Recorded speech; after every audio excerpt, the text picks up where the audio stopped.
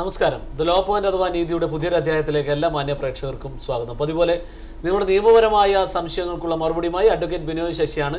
കേരള ഹൈക്കോടതി അഭിഭാഷകനും Dubai international financial കോർട്ടിൽ പ്രാക്ടീസ് ചെയ്യുകയും ചെയ്യുന്ന അഡ്വക്കേറ്റ് ബിനോയ് ശശി ഇന്ത്യൻ എംബസിയുടെ കീഴിലുള്ള ഇന്ത്യൻ വർക്കേഴ്സ് റിസർവ് സെന്ററിലെ ലീഗൽ കൗൺസിലർ കൂടിയാണ്. Advocate welcome. കഴിഞ്ഞ ആഴ്ച വന്ന എസ് എം എസുകളുടെ എസ് എം എസ് ചോദ്യം തന്നെയാണ് ആദ്യം തന്നെ ചോദിക്കാൻ പോകുന്നത്. ഒരു ചോദ്യം. ഒരു സിറാമിക് കോട്ടിംഗ് കമ്പനിയുടെ റോ മെറ്റീരിയൽ ശ്രീലങ്കയിൽ നിന്നാണ് വരുന്നത്. അതിന്റെ മാനുഫാക്ചറിങ് ഇന്ത്യയിൽ വെച്ചാണ്. ഡിസ്ട്രിബ്യൂഷൻ യു എയിൽ വെച്ചാണ് നടക്കുന്നത്. മൂന്ന് കമ്പനികളും ചേർന്ന് ഒരു tri- party tri party agreement tri party agreement ഉണ്ടാക്കുമ്പോൾ ആർബിട്രേഷൻ ക്ലാസ് മൂന്ന് രാജ്യങ്ങളിൽ എവിടെയാണ് വെക്കാൻ സാധിക്കുക എന്നാണ് അദ്ദേഹം ചോദിച്ചത്. ഒപ്പം അയ്യ ഇതാണ് പ്രധാന ചോദ്യം. പേര് വെച്ചിട്ടില്ല അദ്ദേഹം. അതിനകത്ത് അർബിട്രേഷൻ ക്ലാസ് ഇങ്ങനെ ഒരു ട്രൈ പാർട്ടിയായിട്ട് എഗ്രിമെന്റിൽ മൂന്ന് കൺട്രീസ് ഇൻവോൾവ് ആയിട്ടുണ്ടെങ്കിൽ മൂന്ന് പാർട്ടീസും മൂന്ന് കൺട്രീസിലാണെങ്കിൽ മൂന്ന് കമ്പനീസ് ആണെങ്കിൽ മൂന്ന് രാജ്യത്തിനും അതിന്റെ ജൂറിസ്ഡിക്ഷൻ ഉണ്ട്. അപ്പോൾ അവിടെ നമ്മൾ വീണ്ടും ഏത് കൺട്രിയിൽ വെക്കണം എന്നുള്ള ക്വസ്റ്റ്യനിൽ ശരിക്കും പ്രാക്ടിക്കൽ ക്വസ്റ്റ്യൻ ആയിട്ട് അത് കൺസിഡർ ചെയ്യാനാണ് നല്ലത് ലീഗലിനേക്കാളും ലീഗലി മൂന്നിൽ വയ്ക്കാം year option two put three practically ഇങ്ങനെ ഒരു യു കൂടെ ഉള്ള സ്ഥിതിക്ക് അത് യു എ വയ്ക്കുന്നതായിരിക്കും അതിന്റെ ഒരു പ്രാക്ടിക്കൽ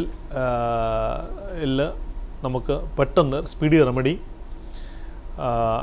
വളരെ എഫിഷ്യന്റ് ആയിട്ടുള്ള ആർബിട്രേറ്റേഴ്സ് പിന്നെ എക്സിക്യൂഷൻ ഫോറിൻ അവാർഡ് എക്സിക്യൂഷൻ ഇപ്പം ജനീവ കൺവെൻഷനും ന്യൂയോർക്ക് കൺവെൻഷനിലും നമ്മൾ എല്ലാ കൺട്രീസും ഇന്റർനാഷണൽ ട്രീറ്റീസ് ഒപ്പിട്ടിട്ടുണ്ടെങ്കിലും ശ്രീ ശ്രീലങ്ക ഉൾപ്പെടെ ഇന്ത്യ ഉൾപ്പെടെ എല്ലാം ഒപ്പിട്ടിട്ടുണ്ടെങ്കിലും ഇത് ഇത് സമയസമയങ്ങളിൽ ഇത് ഇതിന്റെ ഈ ആർബിട്രേഷൻ അവാർഡ് നടപ്പാക്കേണ്ടതുണ്ട്. എക്സിക്യൂട്ട് ചെയ്യണം. അതിന് ഏറ്റവും എഫിഷ്യന്റ് രാജ്യം ഇപ്പം യു എൻ ആണ് കാരണം ടൈമിങ്ങിൽ ഇത് കാര്യങ്ങൾ നടന്നു പോകുന്നുണ്ട്. അപ്പോൾ അങ്ങനെ ഒരു സിറ്റുവേഷനിൽ വരുമ്പോൾ യു എ തന്നെ ആയിരിക്കണം തന്നെയാണ് ഇങ്ങനെ ഒരു കാസ് വന്നു കഴിഞ്ഞാൽ. യു എ ഇൻവോൾവ് ആയിട്ടുള്ള ഒരു പാർട്ടി ഒരു ആർബിട്രേഷൻ വന്നു കഴിഞ്ഞാൽ അതിലേറ്റവും എന്റെ അടുത്ത എക്സ്പീരിയൻസ് വെച്ച് നമ്മൾ പറയുകയാണെങ്കിൽ യു എ തന്നെയാണ് വയ്ക്കുന്നതായിരിക്കും ആ പാർട്ടിക്ക് ഏറ്റവും നല്ല പ്രാക്ടിക്കലായിട്ടുള്ള കാര്യം. കാരണം ഇപ്പോൾ ഏത് കൺട്രി വെച്ചാൽ ആർബിട്രേഷൻ ലോ ഒന്ന് തന്നെയാണ്. ആർബിട്രേഷൻ നിയമത്തിൽ മാറ്റമില്ല. ആർബിട്രേഷനെ സംബന്ധിച്ചോളം ഈ ട്രിബ്യൂണൽ മൂന്ന് പേരും കൂടെ ചേർന്നിട്ടുള്ള ആണെങ്കിൽ അവർക്ക് അവർ അവിടെ രണ്ട് പാർട്ടീസ് കാണും. രണ്ട് പാർട്ടീസ് ചേർന്നിട്ട് ആർബിട്രേഷന് ആർബിട്രേറ്ററിനെ അപ്പോയിന്റ് ചെയ്യാം. മീൻസ് നോമിനേറ്റ് ചെയ്യാം. ഈ രണ്ട് ആർബിട്രേറ്റേഴ്സ് ചേർന്നിട്ട് ഒരു ചെയർമാനെ നോമിനേറ്റ് ചെയ്യും. ഇത് മൂന്നെണ്ണം ചെന്നപ്പോൾ ട്രിബ്യൂണലായി ഇതാണ് കോടതി. ഇതാണ് ആർബിട്രേഷന്റെ ഘടന ഇത് മൂന്ന് രാജ്യത്ത് വെച്ചാലും സിസ്റ്റം ഒന്ന് തന്നെ പിന്നെ ആർബിട്രേഷനിൽ ഫൈനലാണ് പിന്നെ ആർബിട്രേഷനിൽ ചലഞ്ച് ചെയ്യാൻ പറ്റത്തില്ല. ആർബിട്രേഷന് പോയിട്ട് നമുക്ക് പിന്നെ പോയിട്ട് ചലഞ്ച് ചെയ്യേണ്ട കാര്യമില്ല. കാരണം ആർബിട്രേഷൻ അവാർഡ് എന്ന് പറയുന്നത് ഫൈനലി ഈ arbitrate tribunal after hearing and after the trial after the giving evidence to both parties to present their case properly in the due course of time the tribunal uh, decide the matter and an an award. That is called arbitration ഈ award പിന്നെ എന്റെ local കോർട്ടിൽ പോയിട്ട് execution മൊത്തം ചെയ്താൽ മതി. Execution ചെയ്ത് കഴിഞ്ഞാൽ ഇതൊരു ഫോറിൻ കൺട്രിയിലാണ് രാജ്യത്തിലാണ് എക്സിക്യൂട്ട് ഉണ്ടെങ്കിൽ ഇത് ഫോറിൻ അവാർഡായിട്ട് മാറും. ഫോറിൻ അവാർഡും നമുക്ക് എക്സിക്യൂട്ട് ചെയ്യാം. അപ്പോൾ അങ്ങനെ വരുമ്പോൾ ഇപ്പോൾ ശ്രീലങ്കയിൽ ഉള്ള ഒരു കൺട്രി ഒരു ഒരു കൺട്രിയിലുള്ള ഒരു ആർബിട്രേറ്ററാണ് അല്ലെങ്കിൽ സ്വാഭാവികമായിട്ടും ഇങ്ങനെ ആർബിട്രേഷൻ ക്ലാസ് വയ്ക്കുമ്പോൾ ആ അതാത് പാർട്ടീസ് അവരവരുടെ ആർബിട്രേറ്റേഴ്സിനെ വയ്ക്കാൻ വയ്ക്കുന്ന വയ്ക്കാനായിരിക്കും അതിന്റെ അതിന്റെ ഒരു ചാൻസ് കൂടുതൽ.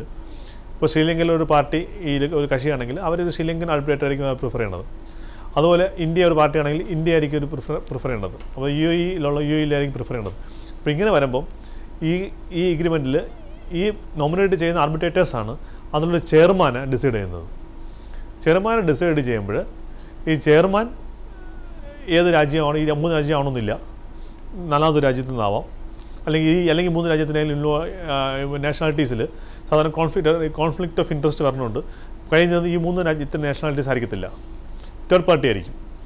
അങ്ങനെ വരുമ്പം അതിനൊരു ഇമ്പാർഷ്യാലിറ്റി ഉണ്ടാവും.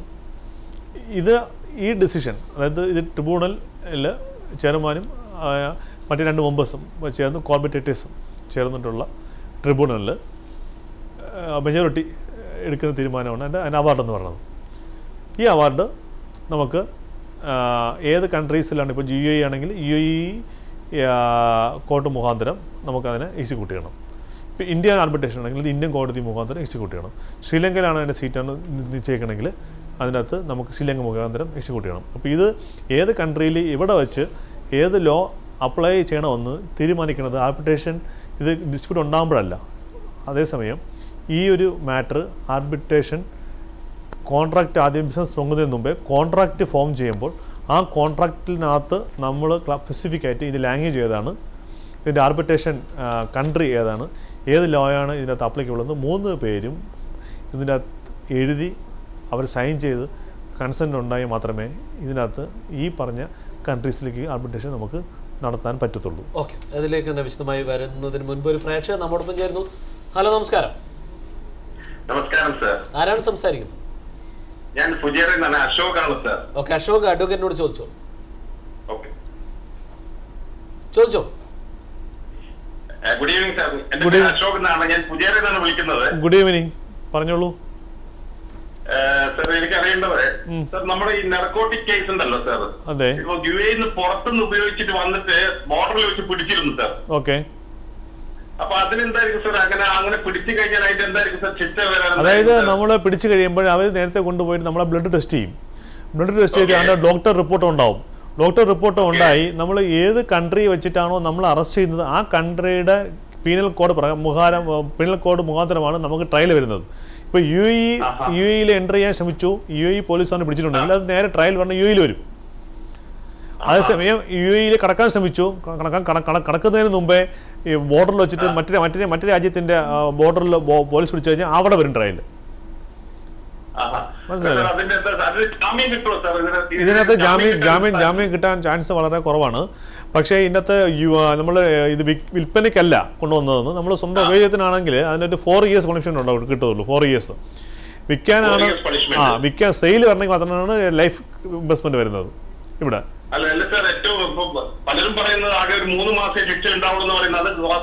ഇല്ല അങ്ങനെ മൂന്ന് മാസം ഇല്ല. ഇതിനകത്ത് രണ്ട് ഒഫൻസേ ഉള്ളൂ. ഒന്നുകിൽ ഈ നിങ്ങൾ ഡ്രഗ്സ് കൊണ്ടുവന്നു നമ്മളത് വിൽക്കാൻ വേണ്ടി നമ്മൾ നമ്മൾ കൊണ്ടുവന്നു. അല്ലെങ്കിൽ നമ്മൾ നമ്മൾ നമ്മൾ നമ്മൾ ഉപയോഗിക്കാൻ കൊണ്ടുവന്നു. ഈ രണ്ട് രണ്ടിൽ നമ്മൾ അതെ ഉപയോഗിച്ചിരുന്നു. അതെ, ഉപയോഗിച്ചിരുന്നു. അതെ അങ്ങനെ ഉപയോഗിച്ചിരുന്നു കഴിഞ്ഞാൽ കൃത്യമായിട്ട് ഇവർക്ക് നാല് വർഷം പണിഷ്മെന്റ് എന്തായാലും കിട്ടും. ഇപ്പം അപ്പീൽ പോകാനുള്ള അപ്പീൽ പോകാൻ പറ്റും. അപ്പീൽ പോയി കഴിഞ്ഞാൽ അപ്പീൽ പിന്നെ കോടതി ഇതിനകത്ത് തരവ് വേണ്ട തീരുമാനിക്കുന്ന അപ്പീൽ കോടതിയാണ് ആ കാരണം നമുക്ക് ഇവിടെ അപ്പീൽ എന്നുള്ള നമ്മുടെ ലീഗൽ റൈറ്റ് അല്ല. അതൊരു മേഴ്സിയാണ് നമുക്കൊരു ട്രയൽ കഴിഞ്ഞ് ട്രയൽ കഴിഞ്ഞു നമുക്ക് വരുന്നതിന് മുമ്പേ നമുക്കൊരു തൽക്കാലത്തേക്ക് നമുക്കൊരു ഗ്യാരണ്ടി തന്ന് ജാമ്യം തരികയാണ് നമുക്ക്. അത് എപ്പോഴും നമുക്ക് കിട്ടണമെന്നില്ല. കേട്ടോ? സാധ്യത സാധ്യത വളരെ വളരെ വളരെ ചാൻസ് ആണ് ചാൻസ് കുറവാണ്. അതിന്റെ എല്ലാ വശങ്ങളും കേസ് കേസ് അത് അതെ അത് കേസിന്റെ പ്രോസിക്യൂഷന്റെ പ്രോസിക്യൂഷന്റെ ഫയൽ പ്രോസിക്യൂഷൻ പഠിച്ചിട്ട് പ്രോസിക്യൂട്ടറാണ് തീരുമാനിക്കുന്നത് ജാമ്യം കൊടുക്കണേ വേണ്ടത്. പ്രോസിക്യൂട്ടർ ജാമ്യം കൊടുക്കാൻ റെക്കമെൻഡ് ചെയ്ത് കഴിഞ്ഞാൽ ജാമ്യം കിട്ടും. പിന്നെ കോർട്ട് പ്രോസിക്യൂട്ടർ ജാമ്യം തരാം. പ്രോസിക്യൂട്ടർക്ക് മൊഴി എടുത്തിട്ട് പ്രോസിക്യൂട്ടർക്ക് മനസ്സിലാക്കി കഴിഞ്ഞാൽ ഇത് ചെറിയ കുറച്ചേ ഉള്ളൂ. ഇതിന്റെ അളവ് കുറവാണ്. ഇയാൾക്ക് ഹാബിച്വൽ ഹാബിച്വലായിട്ട് കഴിക്കുന്ന ആളല്ല. ഇതെങ്ങനെ അവത്തം പറ്റി? അവത്തം പറ്റി ആരോ കൊടുത്ത? എന്തോലെ പുള്ളി കഴിച്ചാണെന്നൊക്കെ അങ്ങനെ ഒരു അവർക്ക് അവർ ബോധ്യപ്പെട്ടാൽ അങ്ങനെയുള്ള കേസുകളിലൊക്കെ ജാമ്യം കൊടുക്കാറുണ്ട്. അതേസമയം പർപ്പസ്ഫുള്ളി പർപ്പസ്ഫുള്ളി ആയിട്ട് ചെയ്തതെന്ന് കണ്ടു കഴിഞ്ഞാൽ പിക്കാർ ജാമ്യം കൊടുക്കാൻ ചാൻസ് വളരെ കുറവാണ്. കേസിൽ ആ. ഇത് വിധി വന്നു കഴിഞ്ഞാൽ ഇവിടെ ഒരു മൂന്ന് മാസത്തിനകത്ത് ഫസ്റ്റ് കോടതി ട്രയൽ വരും. അത് കഴിഞ്ഞ് ഒരു രണ്ട് മാസത്തിനകത്ത് വിധി ഉണ്ടാവും. ഒരു മാക്സിമം പോയാൽ ആറ് മാസം കൊണ്ട് ഫസ്റ്റ് കോടതി വിധി വരും. അത് കഴിഞ്ഞാൽ പതിനഞ്ച് ദിവസം കൊണ്ട് നമുക്ക് അപ്പീൽ പോകാം അപ്പീൽ കോർട്ടിൽ പോയാൽ മാക്സിമം ഈ പറഞ്ഞ പോലെ സമയത്തിന് തന്നെ അപ്പീൽ കോർട്ട് വിധി വരും. കേട്ടോ.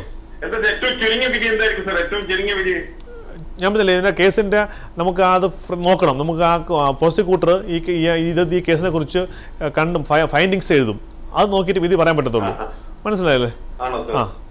കേട്ടോ? ആ ആ ആ ശരി ഓക്കെ ലഭിച്ചെന്നായിരുന്നു വിളിച്ചതിന് നന്ദി. കൂടുതൽ ചോദ്യങ്ങളിലേക്ക് നേരത്തെ ആർബിട്രേഷൻ ക്ലാസ്സിലേക്കൊക്കെ പോകുന്നതിന് മുമ്പ് ചെറിയൊരു ഇടവേള ഇടവേള ഇടവേളയ്ക്ക് ശേഷം ലൈഫ് ലോ പോയിന്റ് അഥവാ നീതി വീണ്ടും.